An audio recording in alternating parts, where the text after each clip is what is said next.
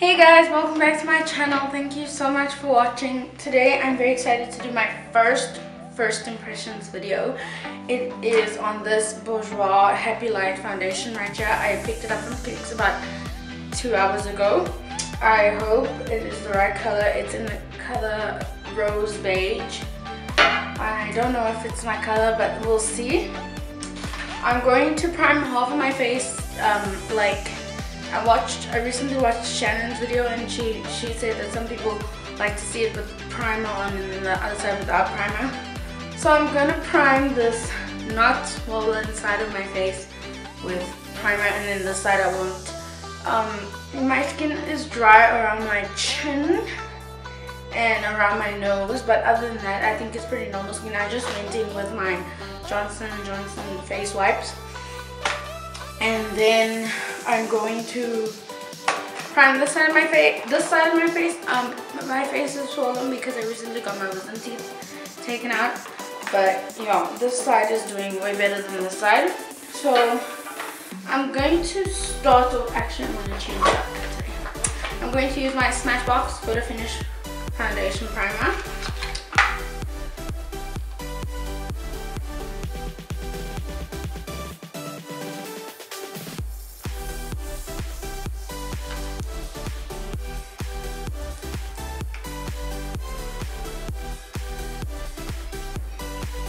The foundation says it has um, translucent pigments and it's an 8 hour hydration foundation. So I don't know how it would look on uh, oily skin. I don't think you'd like it on oily skin. But yeah, we'll see how that goes. I have fairly normal skin except for like dry patches in winter. So I will be documenting it. So the time right now is six minutes past three. I will put on the foundation and then do my face off camera. And then um, after like every three hours maybe four or five hours I'll come back and show you tell you if it's starting to break here and there tell you how it's doing on the non-primed side of my face rather than the primed and all that stuff. I will my last update will probably be at around 12 1 o'clock in the morning but you can just count the hours and not the actual time that I'm using. So let's get this open.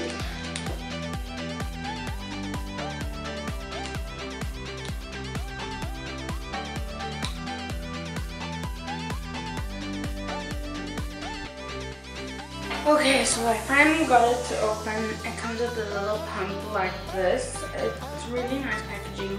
Pump is really convenient. Hopefully it's the right color for my skin. I'm going to apply it with a brush. Um, I'm going to use my Real Technique clothing brush. I'm just going to Oh, it is very wet. It's a very wet foundation.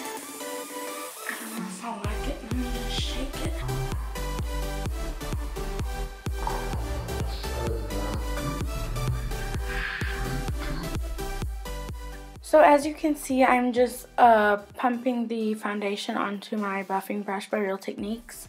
And as you've also noticed, the foundation is way too light for my skin.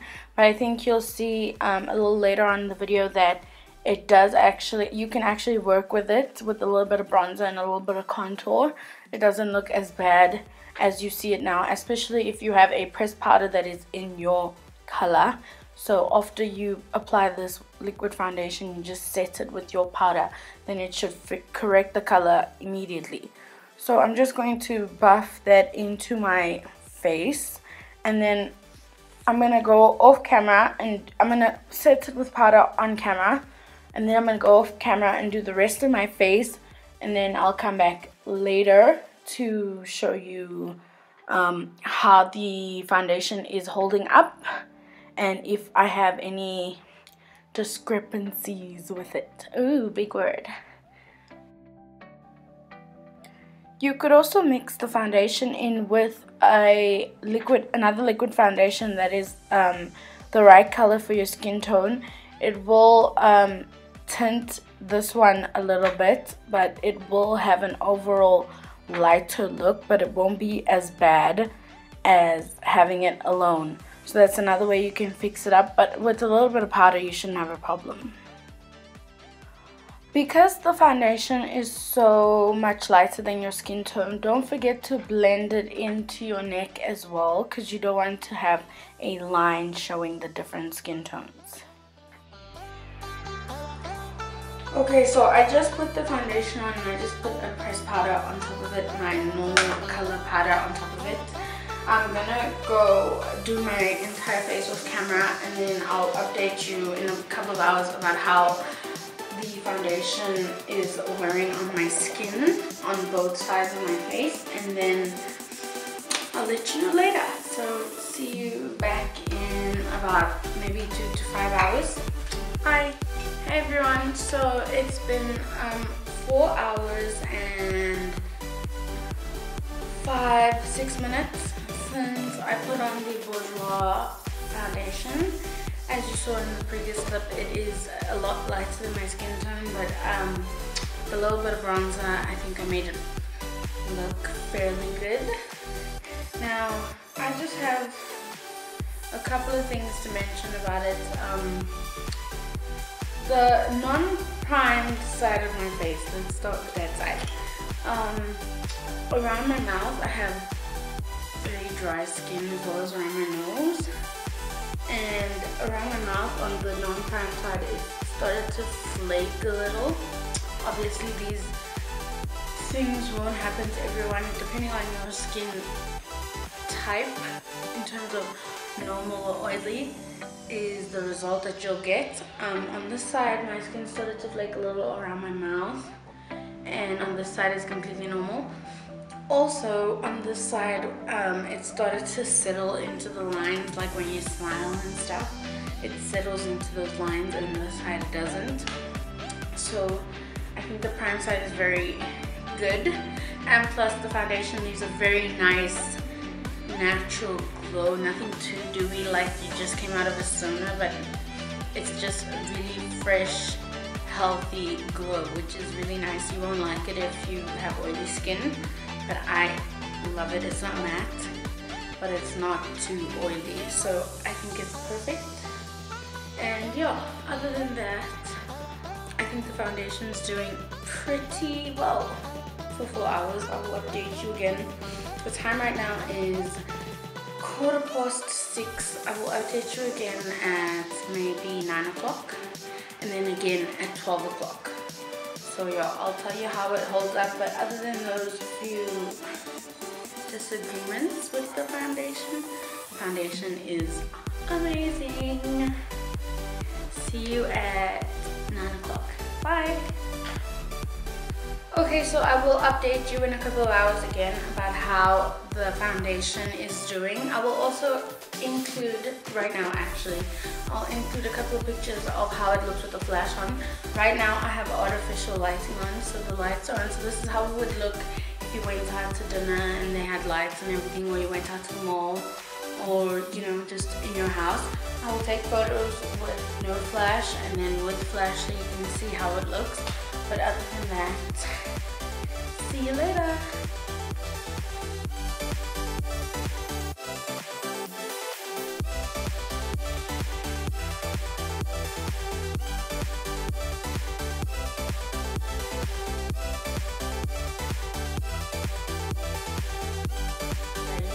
Also, if you want to see a makeup tutorial on this look, then just leave a comment in the comment section and I will definitely get back to you. Hey guys, so it the time now is 11, oh, 9 minutes, really? The time now is 11 minutes past 9 and it's been a total of 7 hours since I applied the Bourjois foundation and between the last update and this one there was a lot of movement and a lot like I wore the scarf you know just to see how it would suffice in like you know normal situation and there was a lot of jumping around because my favorite song came on and all that stuff. There was a lot of laying down. So yeah. Overall in the seven hours I just I have this line here, which for my glasses because I wear glasses. And if any of you know how to get rid of this line without having to put a tissue right here, just let me know because it's really annoying. But let's get back to the topic. Um, overall, in the seven hours, I think this foundation is absolutely amazing. I would definitely recommend it. Aside from the,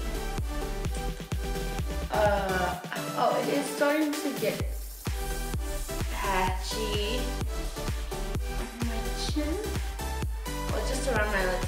That's because my lips are really, like, they're, like the area around my lips is dry. So it would differ for different types of skin in terms of oily, dry, you know, combination.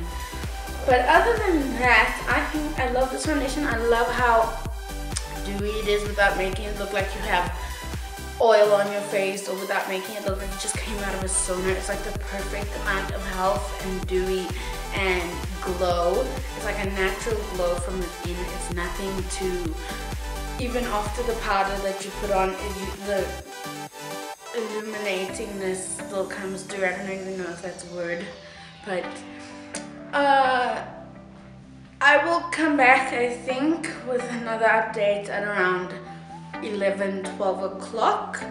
But for now, I give this foundation a 10 out of 10 because I love Bourjois and I love all their products.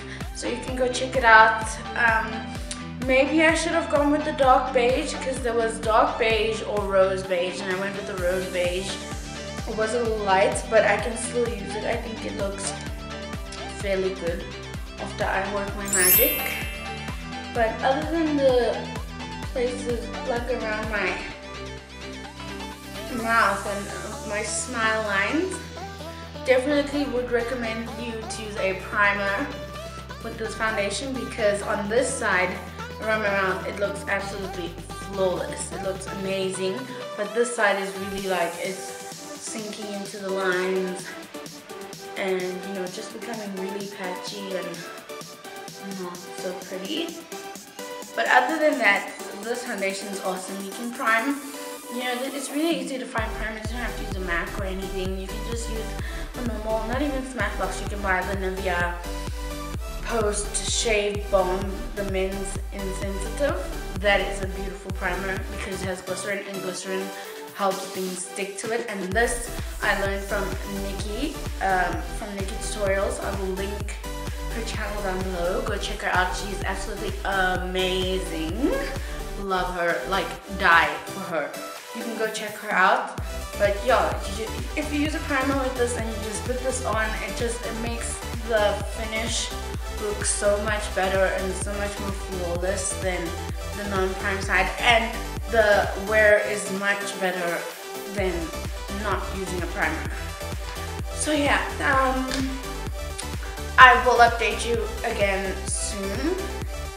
So let's see how well this does through my editing because I think I'm gonna go edit the video now so I can have one up by Friday and today is Monday. So yeah, I'll see you again in a couple of hours. Hey guys, so it is half past 11 right now. As you can see, it's half past 11 and this is going to be my last update. Um, overall, I think the Bourjois foundation is absolutely stunning. It gives you such a healthy glow from within, which is what everyone wants. Everyone wants to look like Kim Kardashian. Anyway, I give the foundation a 10 out of 10. I just wish they had a wider color range for all types of skin tones. But because they don't, it kind of sucks because you can't buy it.